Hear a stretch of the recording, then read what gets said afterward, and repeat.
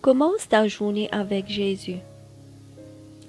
Jérémie chapitre 7, versets 5 à 7.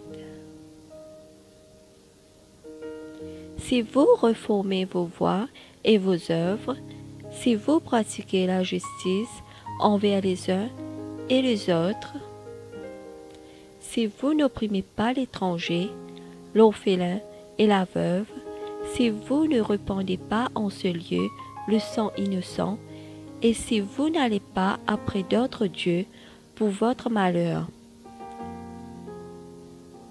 Alors je vous laisserai demeurer dans ce lieu, dans le pays que j'ai donné à vos pères, d'éternité en éternité.